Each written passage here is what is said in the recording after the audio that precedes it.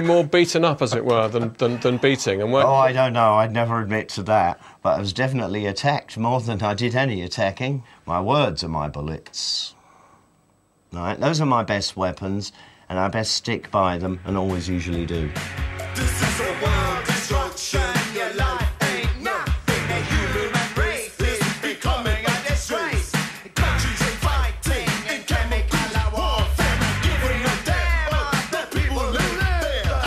Whatever style of music Lydon turns his hand to, his vocals remain raw and untamed.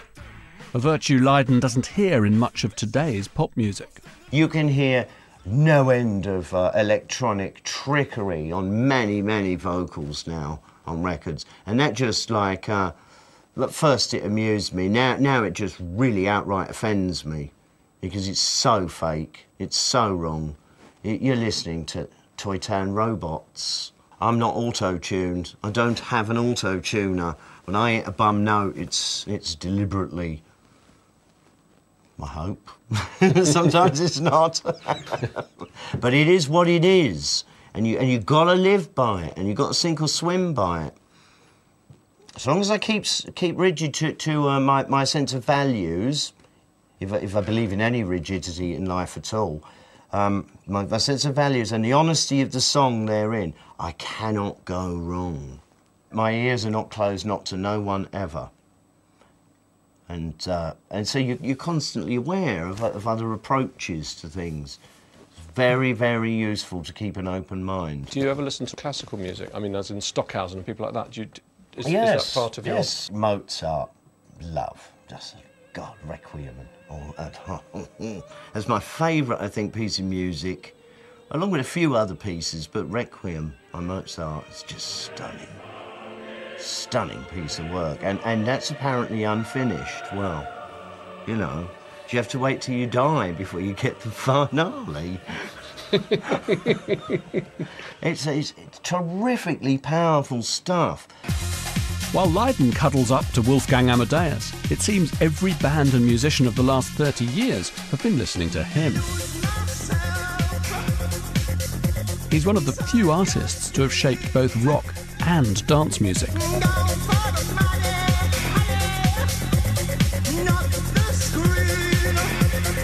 I'm not being a big head. I'd love to be.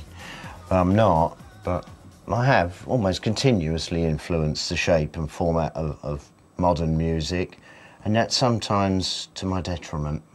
Have you ever been annoyed by it? I mean, have you, have you Sometimes. ever sort of listened to Oasis Sometimes. singing and thinking, hang on, that bloke's Well, no, singing that- just like me? Yeah, well, that, that struck me at first as quite nice. I thought the song, uh, was it Rockstar?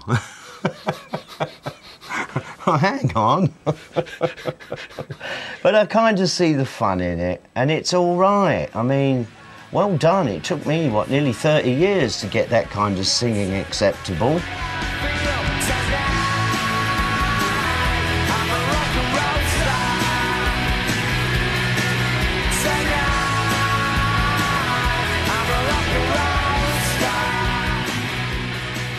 Lydon is nothing if not unpredictable.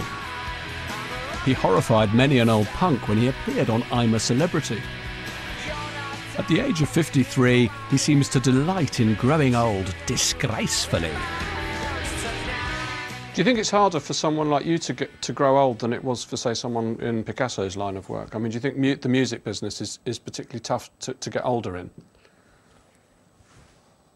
I've no, no concept of that at all. I've never thought about it. Uh, Pete Townshend wrote that ridiculous line, Hope I die before I get old. I mean, I've told him many a time, aren't you sorry now? All right? It's this, this love of youth and youth only. I mean, you know, getting while they're young, by all means, but I don't mean perpetually stay young. It's, it's teen, teen years. It's, al- it's almost like a a state of ultimate stupidity, really. You can make the most vital mistakes in your life at that point. I don't know how, but I think I did really quite well, and I trotted through the teen years and, and came out, you know, waving great big flags and shouting and screaming. Unfortunately, a lot of people have followed them flags. rather than appreciate what I've done, they end up trying to imitate or utterly, completely dismiss. And both of those causes are wrong. But you were only 19 when you wasn't, wasn't that right? You were 19 when you were in the Sex Pistols. 18. 18, 19, yeah. Fine. Yeah. I often thought 17 because I have such a bad memory. But if you met Johnny Rotten coming down the street today, what would you say to him? What a concept to meet yourself. I almost did once um, at the, uh, the Rock Circus when they did that uh, wax dummy of me. Whatever you think you are, you ain't. you ain't. These ears shocked me. What you felt And this nose, like, like a ski slope. Ah, and then the teeth. Hey! I was a hell of a lot uglier than I thought.